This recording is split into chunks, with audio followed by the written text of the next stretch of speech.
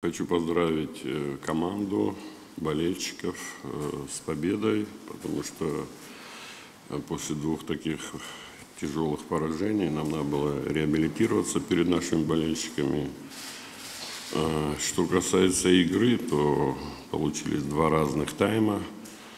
В первом тайме играли очень медленно, много поперечных передач назад.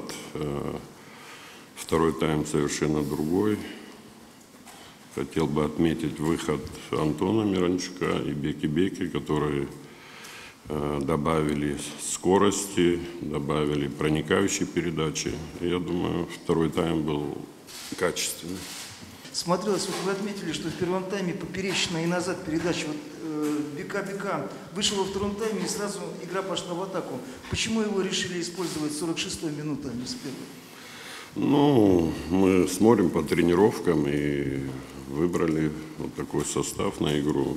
Тем более у нас э, пять человек не могли играть, это три человека по карточкам, и Баринов еще не залечил травмы, и Гилерми чуть-чуть усугубил травму. А, По стадиону после игры объявили, что у «Локомотива» был самый молодой состав в среднем за в РПЛ. Это достижение «Локомотива» или все-таки какая-то вынужденная мера, связанная вот с тем, что вы уже сказали, что и травмы, и карточки, и, может быть, дальше и продолжать в том же духе, раз результат есть? Спасибо.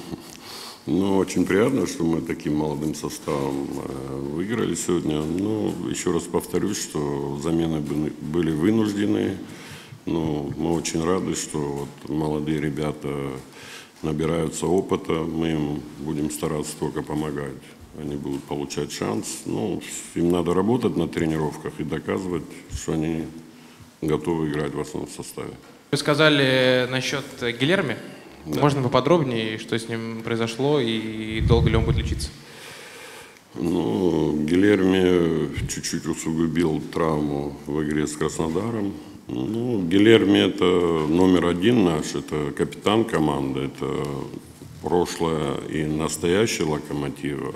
А Даня Худяков это настоящее и будущее локомотива.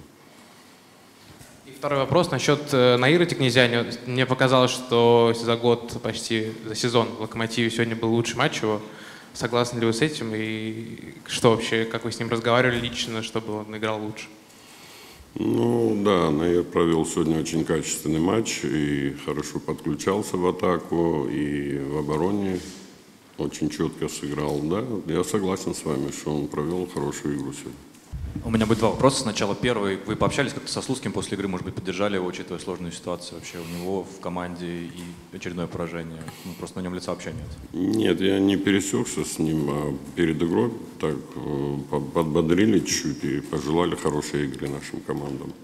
Коллег Стас Мигеев сыграл после долгого перерыва достаточно хорошо, я считаю. Как вы думаете, дальше он будет в основе выходить или пока он не готов вот, к игре 90 минут в каждом календарном матче? Не, ну Стас уже набрал хорошие кондиции, да, ему надо вот сейчас за счет игр набрать практику. Так, э, это хорошо для нас, что у нас есть выбор. Потому что у нас, э, когда он был травмирован, и Баринов, у нас не было выбора такого. А так, кто, еще раз повторюсь, кто на тренировках будет выглядеть лучше, тот и будет выходить в стартовом составе.